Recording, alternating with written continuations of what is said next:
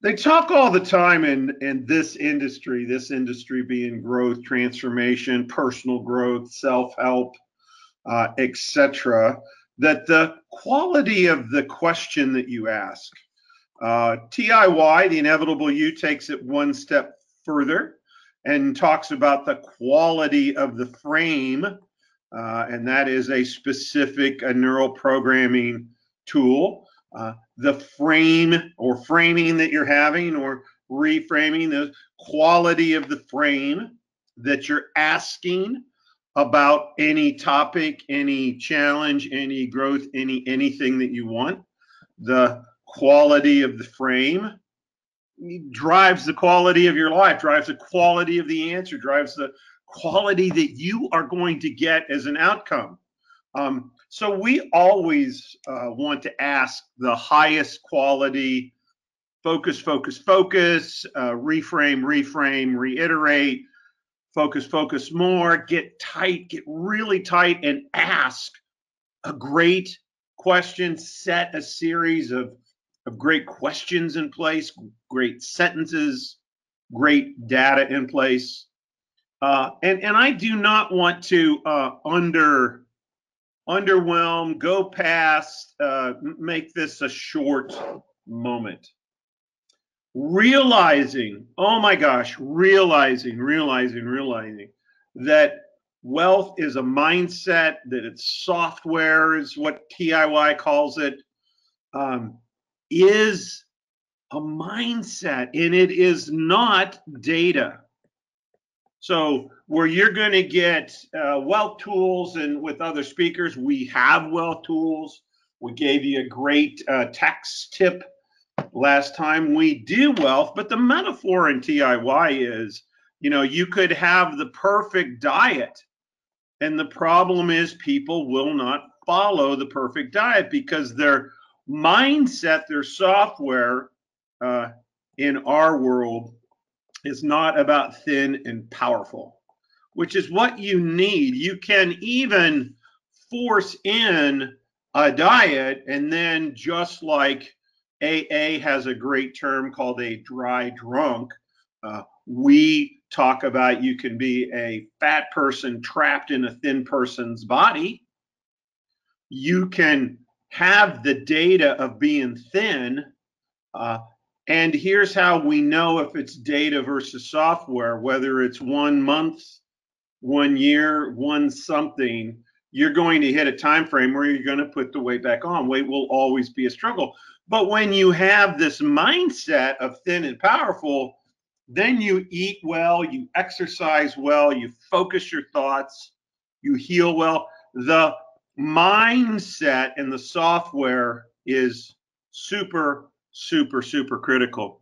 So, this very simple question here do you know what your mindset, what your software is, uh, is just absolutely, absolutely crucial. And to help you, we have given you a download. You just have to ask for it on your financial model of the world.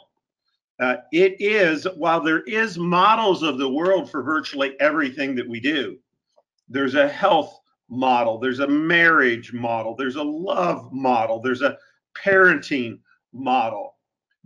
All these arenas have models of the world. The only one that we work with separately and uniquely different because money and finances and wealth and abundance is so critical is in the financial arena. So make sure that you ask for that and, you know, give you a couple of extra exclamation points. I know you've never seen that with me before. Make sure if you want, uh, and, and if you want to be really crazy wealthy, let me give you a couple more. Send it to Brian and I, send it, iterate it, we're more than happy to make comments on it. You know, well, I hope you know, we are, we are a scarcity culture.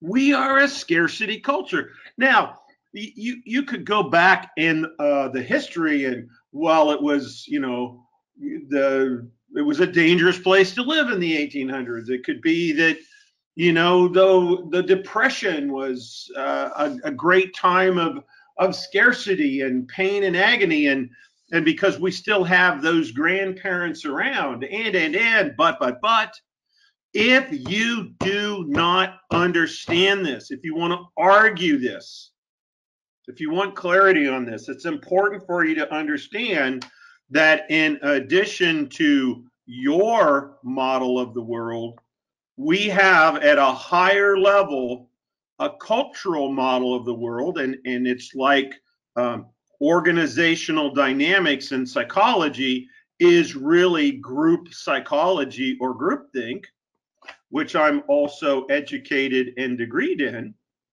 which is how I've applied that model of thinking to neural programming. Um, there is a lot, if you want to be abundant and, and wealthy, you're going to run into a whole lot of people that are scarcity based and they're going to argue with you, fight you, work on hold it, stop it, don't, blah, blah, blah. So it's important that we start there, that you know that. And there's good reasons for it. It's not like these people that are scarcity based or evil or stupid or or anything. It's it's just that it uh, is an is statement. And so you have to ask yourself the question, you know, is that fact what holds us, you know, which is you tonight? Is that is that holding back this scarcity culture? You know, so to make this real for you, to make you choose if you want to add something or create something of value, or gosh forbid, that you actually go out and apply the content and apply it in a significant way you have to ask the question are you scarce or abundant? And there is a why and a when for both scarce and abundant because even if you said abundant, there's a why and a when when scarcity will pinch you.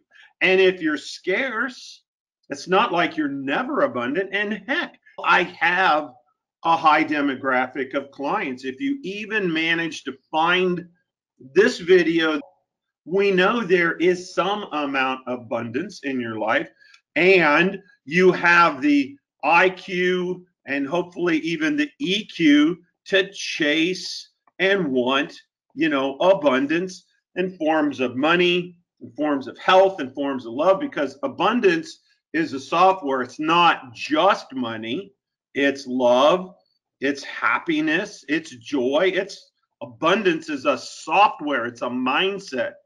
It's a very unusual person that is really good at love and poor at money, or really good at health and poor at money.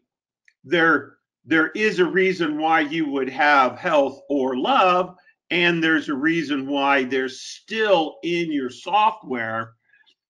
Do you have crazy love, crazy health, crazy, crazy everything?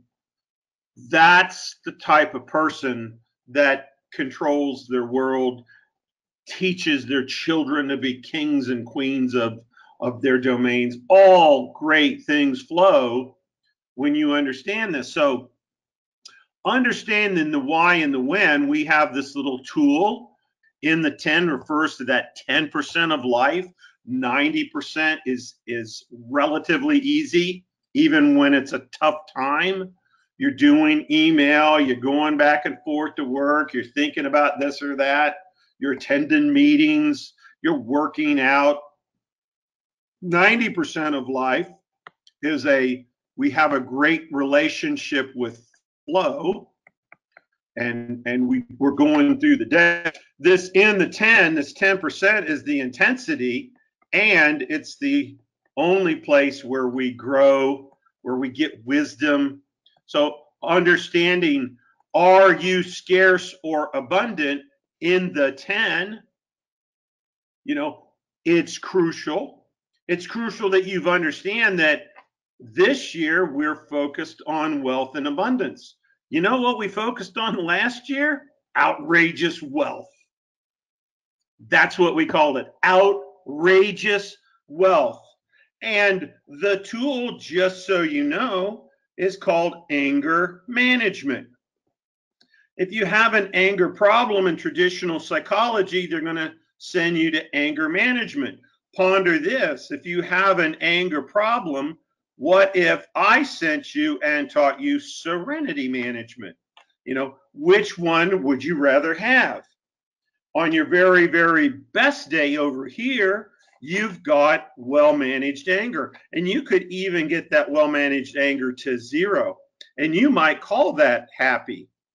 But the reality is, you know, it's controlled anger. You're waiting to for the anger in the 10 to blow up. That's your best day. Your worst day over here in the TIY system is poor serenity. Oh, gee, poor serenity. What does that feel like? Outrageous wealth. If you screw up outrageous wealth, what do you have? Is that poverty? Is that lost everything? You know, two steps forward, one step back, you know, two steps forward on wealth and abundance, one step back, hmm, maybe it's not wealth and abundance when you write the program and the software and know what outrageous wealth is, oh my gosh, you're king of the world. And so, knowing which has more cachet with you, wealth and abundance or outrageous, outrageous wealth, and you have to know that both, just as in scarcity, are true. Because Anger management is always anger centric. Serenity management is always serenity centric. And furthermore, the brain chemistry that connects to the thoughts and software that you're having is how this stuff gets reinforced. So last year we said, hey, go for outrageous wealth. And then how many people did that? Because I said, if you screw up outrageous wealth, you still have a lot of wealth. And two steps forward, one step back, you're going to take two steps forward again. You will return to outrageous wealth. But hey, it, it, we, we thought this year, well, let's just do wealth and abundance. Can we can we get people there? So now I want to ask you tonight's big question. What if you never worried about or acted as if you were completely abundant? What if you never worried about it?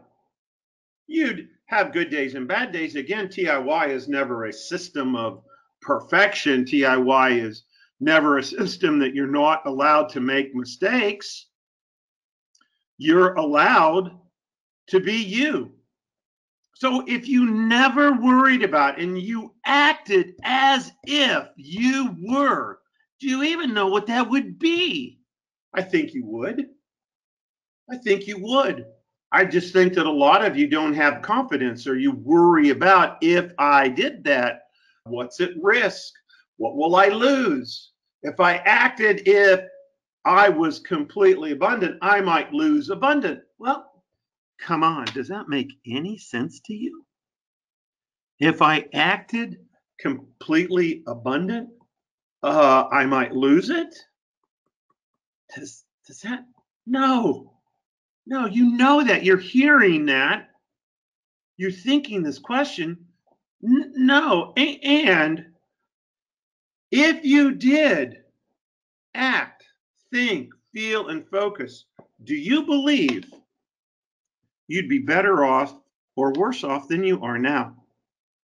If you, and again, I'm not assuming that I've got, you know, people that are struggling and terrible and can't. I know who's on this call. I know who watches these videos. There's a lot of really good people out there. And even if you're at the top of the food chain, there's a lot more to go. You know that. If you already connected into some abundance, some wealth, there's more to go. There's unlimited. How do you get to unlimited? Write checks, print money, believe that this energy system is going to print money for you because you requested it, because you wanted it, because you believed in it, because you focused on it. Will these laws work for you? And if you acted that way, thought that way, focused that way, do you believe you'd be better off, or is there some big risk of you doing that? And in, in reality, if you started acting like outrageous, just simple abundance and wealth, and we'll get off outrageous. I just want simple abundance and wealth and prosperity would you be better off or worse off than you are now? That should be for a lot of you a huge, huge, significant question, significant moment for you to think about who you are, why you are, what you are, and ponder what are the ramifications in my life.